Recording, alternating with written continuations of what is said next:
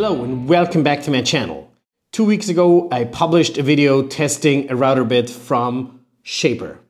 And one of my viewers commented and asked me if I could test another one. So Joshua wanted me to test this one, which is the O-Flute router bit uh, from Shaper, which is supposed to cut really deep. What is this? I'll show it to you. It's 5mm tip and an 8mm shank.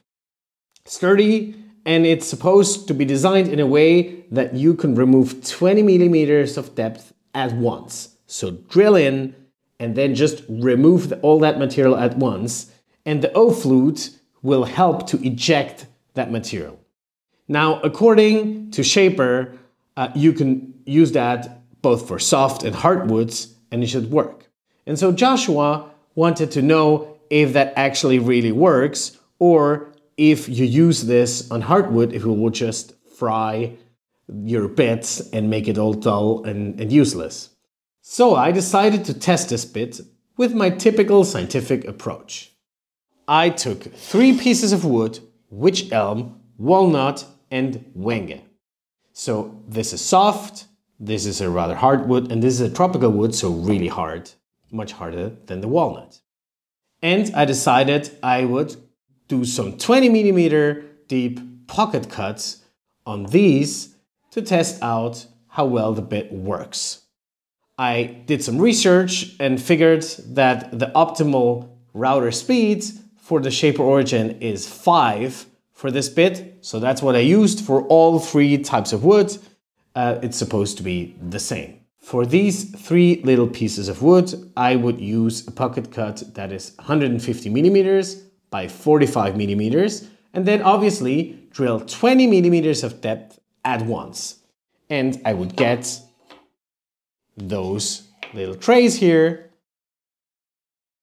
using this router bit. After each one, I will look at obviously the cut quality, also how long it took me to do it. I will observe how easy it was, and also I would take a photo of the router bit after doing it to see how fried, quote unquote fried, it got. I started with the softwood, with the wych elm. For the wych elm, I can say that it was astonishing how easy the Shaper Origin was able to plunge this bit into the wood, so no resistance at all, like butter. It moves into the wood, and then I started to do those pocket cuts. Now, one observation, which is for all the three pieces of wood, is I prefer taking larger bits to do pocket cuts like that. So it's not the ideal bit size if you really want to remove a lot of material, obviously, right? But I was testing it. I wanted like to give it some use, and that's why I decided to do that pocket cut, the larger one. It went really well. It was easy to remove all the material. I removed the pocket cut and then I did an outside cut and it worked really well. As you see here, it's nice looking. One of the corners is a little bit, there's like, there's like a mark, which I can't really explain why it happened, but it is what it is. But other than that, it went well. The router bit, after using it, looked like new. There were like no major signs of wear.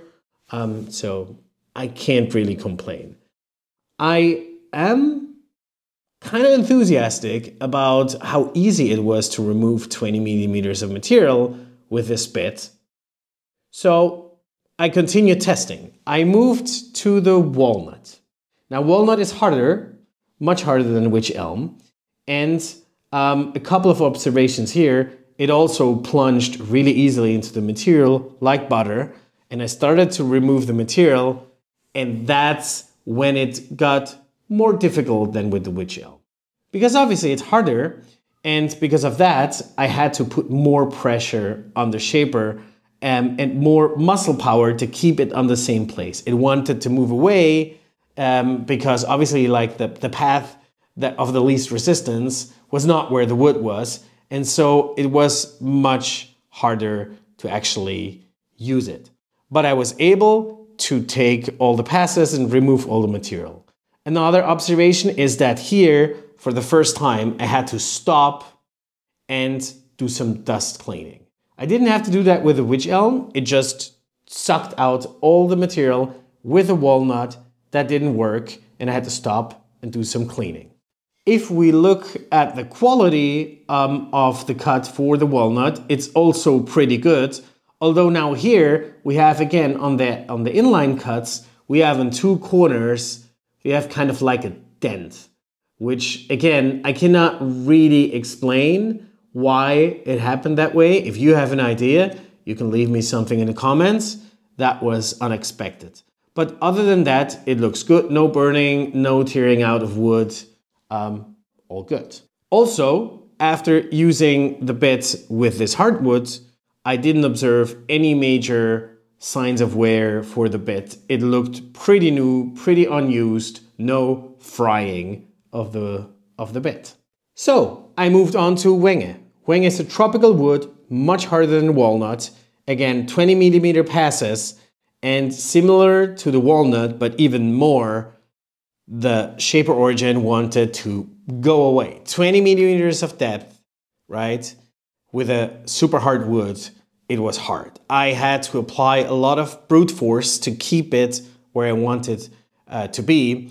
Um, also, the dust collection got even uh, more complicated. I had to do several steps to clean up the dust. Um, there were like chip, like tiered out pieces of, of wood that got all stuck. And so it was kind of more messy to remove uh, that much depth of such a hard wood. Also, regarding the cut quality, that was not as nice as the others. Uh, I have a clear dent in the inline cut. Um, there is a piece of the wood that um, like was torn out. Um, that is not necessarily the fault of this chip because Wenge tends to do that. It was okay. I mean, it's it's okay, but it is really a lot of force um, on your material, on the wood, on the bit, also on the Shaper Origin. Now, after uh, using this on Wenge, looking at the bit, there were some signs of usage, although you always have that when you use a bit for a while. It's clearly not um, frying of the bit, it's still very sharp. It's still uh, very usable. And so the bit survived. The question is, does it really make sense to use it that way? That brings me back to the question, what is this bit good for? I would recommend you to buy this bit if you need to do deep pocket cuts that are small. For instance, to apply hardware to your wood, such as like door hinges and other uh, kind of things where you need to go deep, but for small areas. You don't want to do a large pocket cut with that, that's just cumbersome. But if there is a need for you to remove up to 20 millimeters of material uh, for smaller uh, pieces, for smaller areas, then this is really nice. You can save time. You can also make really nice and clean cuts because you don't have to do multiple passes, which then um, obviously has an, the advantage of um, saving time and having nice cut quality. Um, so I am going to use this. I actually am enthusiastic to have that option if I need smaller pocket cuts. All right, that being said, that was it. If you have other ideas, other bits you want me to test, or other things around the Shaper Origin, leave it in the comments like Joshua did, and I'll make a video and we'll have some fun together. If you like the video, thumbs up, subscribe to my channel. See you around.